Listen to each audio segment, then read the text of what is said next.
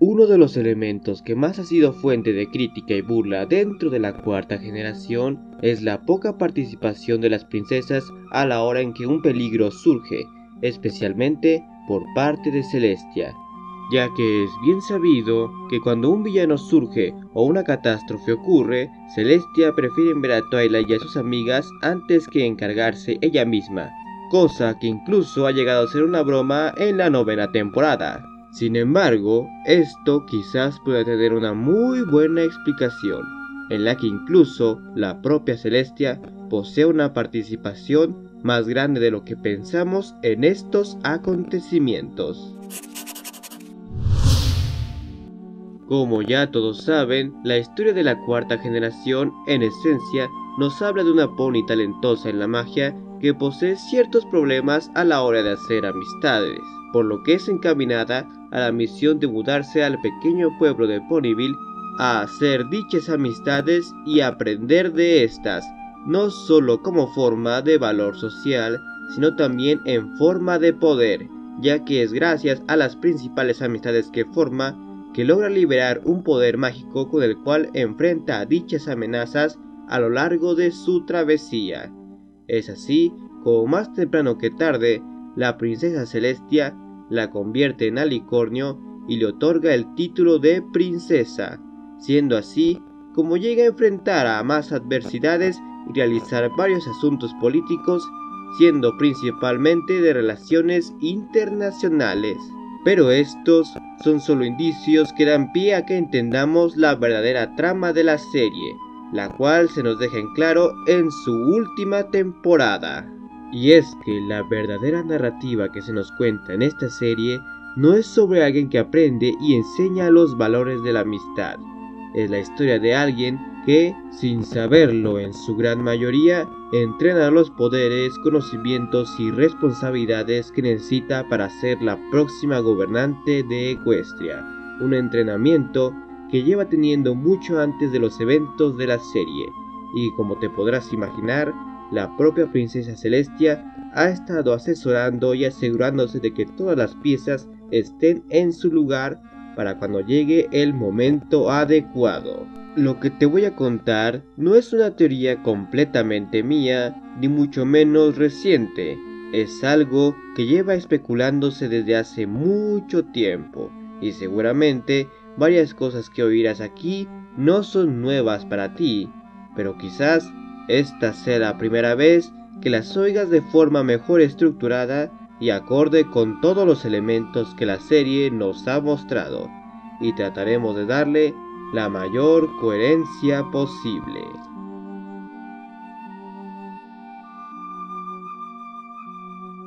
Antes que nada, hay que entender la función de uno de los factores más importantes dentro de la serie, los elementos de la armonía los cuales, a pesar de que puedan parecer funcionar a conveniencia de la trama la mayor parte del tiempo, estos sí llegan a tener ciertas reglas,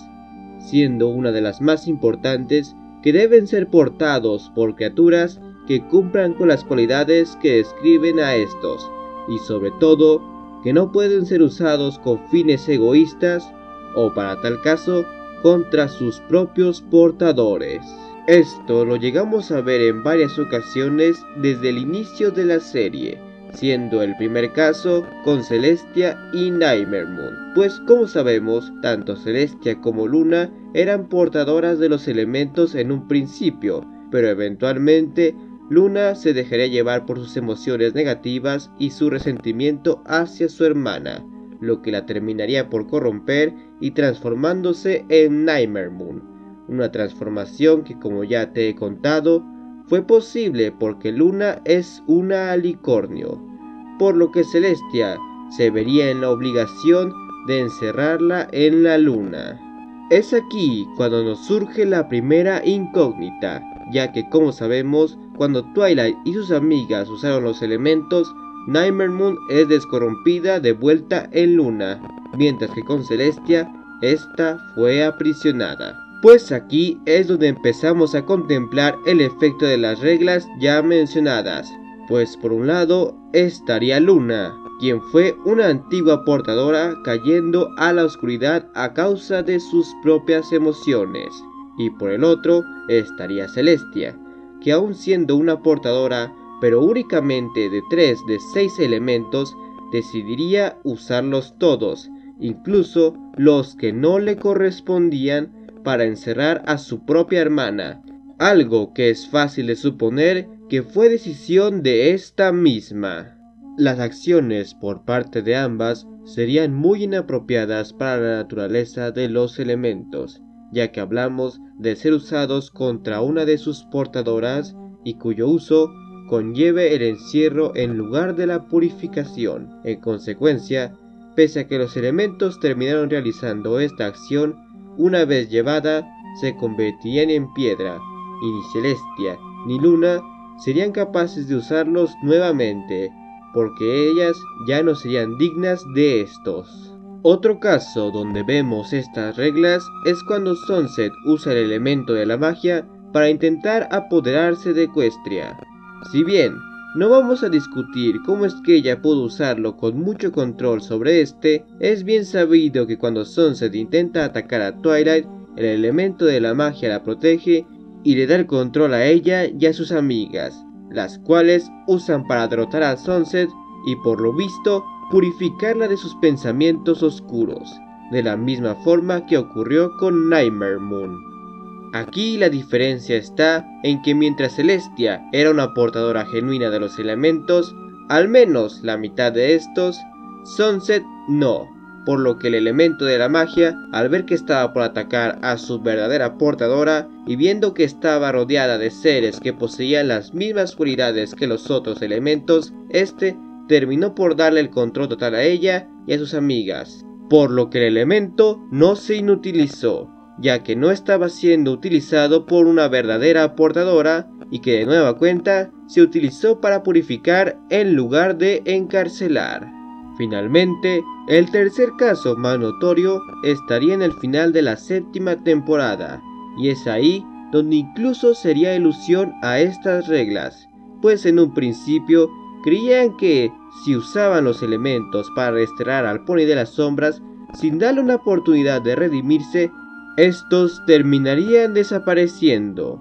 probablemente convirtiéndose en piedra de nuevo, un caso muy similar al de Celestia y Nightmare. Pero al enterarse de que Stillan seguía dentro de este, decidieron usar los elementos para liberarlo de la sombra, razón por la cual estos no se convirtieron en piedra. Estos casos son para dejar en claro que los elementos tienen un sistema de selección a base de cualidades y moral, y dejan estar activos si sus portadores actuales los utilizan con fines que ellos consideren inmorales, prácticamente como si estos tuviesen conciencia y juicio propio. Una idea que no es tan descabellada si consideramos que su creador, el árbol de la armonía, es un ser consciente que puede manifestarse utilizando la forma que él desee, por lo que, para tal caso, podríamos decir que es el árbol de la armonía el que decide quién es digno de utilizar los elementos.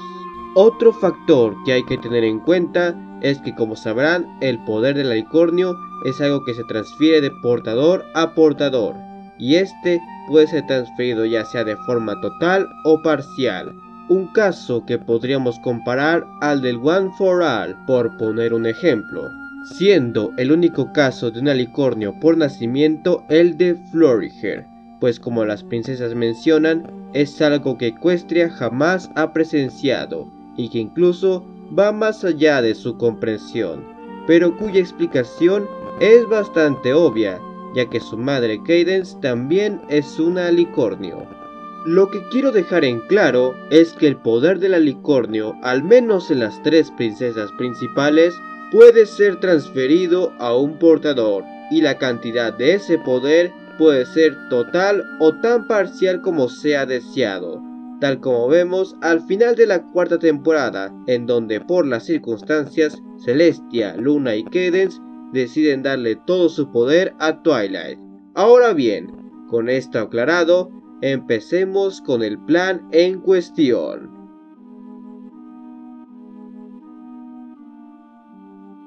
Este plan de Celestia se daría mucho antes de los acontecimientos de la serie, muy probablemente poco tiempo después de haber desterrado a Nightmare Moon. Y primero que nada, hay que tener muy en cuenta que es bastante probable que la propia Celestia haya ordenado borrar la mayor parte de los registros sobre su hermana y sobre su corrupción, para así evitar el descontento y temor de sus súbditos, pues si bien es bastante probable que los que hayan sido testigos de los acontecimientos estén conscientes de que Celestia hizo lo que hizo por un bien mayor,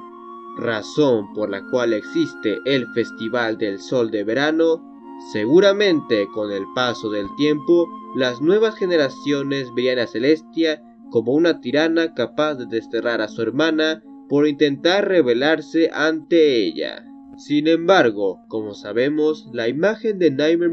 no se borraría por completo, ya que se inventaría la Noche de Nightmare y se crearía una versión alterna de la historia de la yegua oscura, además de que surgirían diversos mitos alrededor de ella, como es el caso del pony de las sombras. Si bien no podemos decir que Celestia fuese la creadora de estas historias, al menos podemos decir que permitió que existieran, para que así los ponis no olvidaran por completo a su hermana, aunque tampoco la vieran como alguien real. Pero de lo que sí podemos hacerla responsable es de la historia de la yegua en la luna, pero de eso hablaremos más adelante.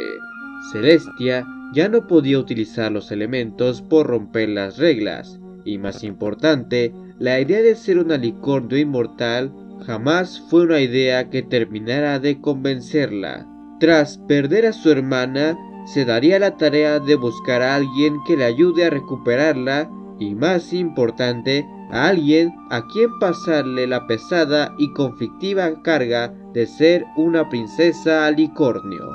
Es así como fundaría la escuela de unicornios superdotados, pues ellos son los que poseen la mayor capacidad de magia de las tres razas. Además, como bien sabemos, el elemento principal y el que alimenta a los otros es la magia. Sin embargo, aquí surge una duda, ya que no sabemos a ciencia cierta si Celestia tenía contemplado incluir a otras cinco en este plan porque siendo justos, es bastante probable que un alicornio pueda controlar todos los elementos sin necesidad de otros,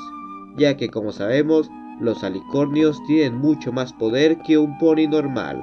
por lo que no se necesitarían distribuir el poder de los elementos entre otros, además claro de que así la sucesión al trono sería más pronto, pues si este sucesor fuese alicornio desde el principio, se saltarían muchos de los pasos que en ese entonces no serían vistos como importantes. Esta idea se ve reflejada en Sunset Shimmer, la estudiante de Celestia antes que Twilight,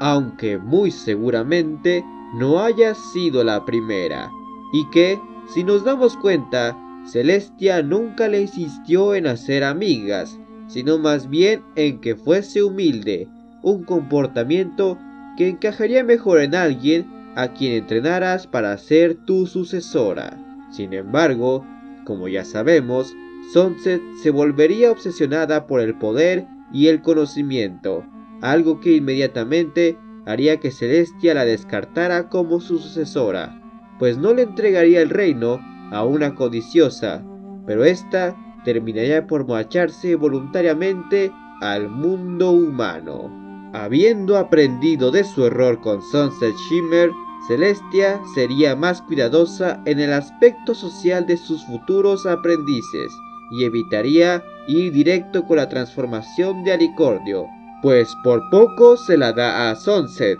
por lo que decidiría poner como prueba hacer nacer un huevo de dragón, cosa que no solo demostraría la habilidad en la magia del pony en cuestión, sino que dicho dragón sería la excusa perfecta para desarrollar un vínculo afectivo, siendo la primera en pasar esta prueba Twilight Sparkle.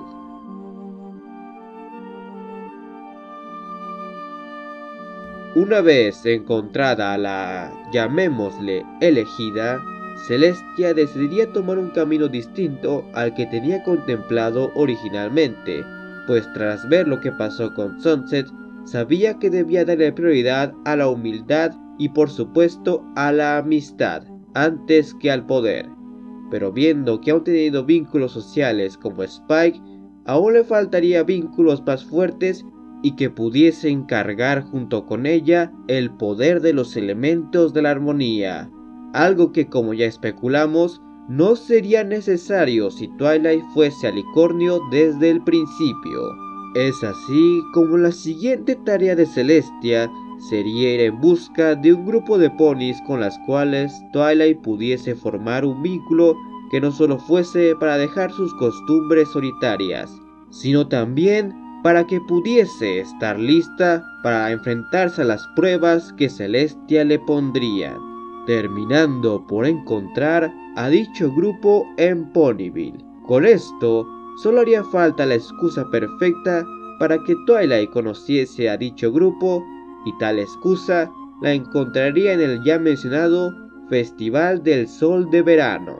Y aquí es donde te pido que recuerdes o para tal caso revises el primer episodio y tengas en cuenta la labor que tanto Twilight como las demás ponis tenían en esta historia. Pues si recuerdas, Celestia mandaría a Twilight a Ponyville para supervisar los preparativos del festival. Un festival que cabe aclarar, desde donde sabemos solo se celebraba en Canterlot, pero por esta ocasión se decidió celebrar en Ponyville. Dichos preparativos da la casualidad que estaban a cargo de ese grupo de ponis a los cuales Celestia había estado observando, pues como sabemos, Applejack estaba a cargo del banquete, Rainbow Dash estaba a cargo del clima, Rarity estaba a cargo de la decoración y Fluttershy estaba a cargo de la música, tareas que Celestia le encargó a Twilight supervisar pero como ya te podrás imaginar, era solo con la excusa de que ésta las conociera. La única que faltaría en la ecuación sería Pinkie Pie, pues como sabemos, ella no tenía ninguna tarea, al menos no una relacionada con el festival. Sin embargo, como recordarás, ella fue la primera en conocer a Twilight y en cuanto lo hizo, se fue directo a la biblioteca para prepararle una fiesta sorpresa pero jamás se nos explica cómo es que ella sabía que ésta se alojaría en la biblioteca, pues la fiesta ya estaba lista cuando Twilight llega por primera vez. Pues la posible explicación que puedo darte es que al igual que el resto de las ponis, a Pinkie Pie, siendo la organizadora de fiestas que es, se le haya dado la tarea de recibir a la supervisora del festival por lo cual, ya sea por parte de la alcaldesa, que sabemos que tiene un fuerte vínculo social y político con la princesa Celestia, o incluso que haya sido la propia Celestia quien le daría la información de dónde esta supervisora se hospedaría. En pocas palabras, la tarea de Pinky era recibir a Twilight y hacerle una fiesta para que así pudiese conocer mejor a las ponis con las que ella se encontraría una tarea que muy probablemente fuese ordenada por la alcaldesa y para tal caso por Celestia. Con las piezas ya colocadas, lo único que se necesitaría sería una razón por la cual Twilight esté enterada de Nightmare Moon y la viera como una amenaza, ya que esta sería su primera prueba, en la cual no solo lograría lo que Celestia no pudo, descorromper a su hermana, sino que en esta se demostraría si ella y el grupo que Celestia escogió meticulosamente para ella serían dignas de portar los elementos de la armonía. La respuesta ya todos la conocen, el cuento de la yegua en la luna y la profecía que ésta traería. Profecía que hay que aclarar es relativamente falsa. ¿Por qué? Porque fue inventada por Celestia. Hasta aquí vamos a dejar el tema del video, por lo que te pido que estés al pendiente y te suscribas para poder ver la continuación y saber cómo es que Celeste ha estado involucrada en la mayoría de los villanos y acontecimientos a los que Twilight ha tenido que enfrentarse, por lo que nos veremos muy pronto.